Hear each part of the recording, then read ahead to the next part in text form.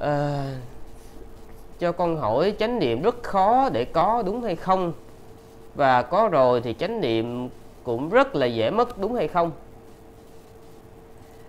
Khi quý vị hỏi câu này đó sư đưa ra một ví dụ. Cũng giống như có người hỏi đó à, tiền rất là khó kiếm có phải hay không? Và kiếm rồi rất là dễ mất có phải hay không? Khi hỏi câu đó chúng ta còn phải xem tùy thuộc vào cái đối tượng đó là ai ha? Cái đối tượng đó là ai?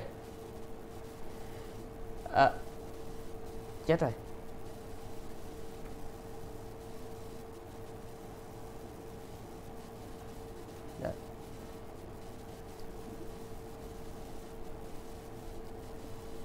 À, sư vừa mới lỡ tay sư đóng cái ờ, cái cái phát trực tiếp hên sao nó không mất à, chúng ta còn tùy thuộc vào cái đối tượng đó là ai.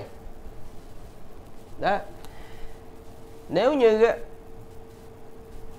à, nếu như cái người cái người mà ừ, ăn chơi mà trác tán thì đúng thiệt.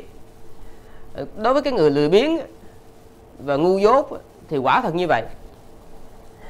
Cái tiền đối với họ rất là khó kiếm. Và khi họ kiếm rồi thì rất dễ mất còn đối với một người á, mà chí thú làm ăn siêng năng ừ, có kiến thức có tài năng thì tiền đối với họ rất là dễ kiếm. Và khi kiếm rồi đó họ có sự quý trọng đối với nó thì nó cũng rất là khó mất.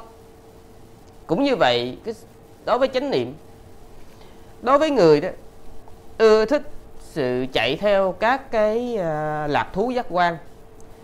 Có nghĩa là ưa thích sự hưởng thụ ăn uống ngủ nghỉ uh, chơi bời ừ, cũng như yêu đương nam nữ vân vân và vân vân. Ngoài ra đó họ còn là cái người lười biếng không có thực hành. Lười biếng không thực hành đây nghĩa là gì? Một ngày sư xin thưa với quý vị đó một ngày mà quý vị chịu dành ra một hai tiếng đã là hiếm nhưng như vậy nó vẫn chưa tính là quý vị siêng đâu. Ha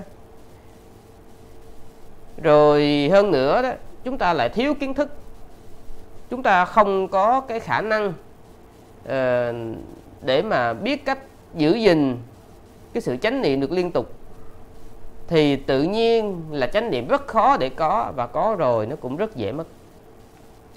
Còn đối với một người mà họ thiết tha tu tập họ không có tham muốn cái sự hưởng thụ những cái lạc thú giác quan họ không ưa thích ăn, mặc, ngủ, nghỉ, cũng như chuyện nam nữ. Họ siêng năng tinh tấn. Họ chánh niệm ngày đêm.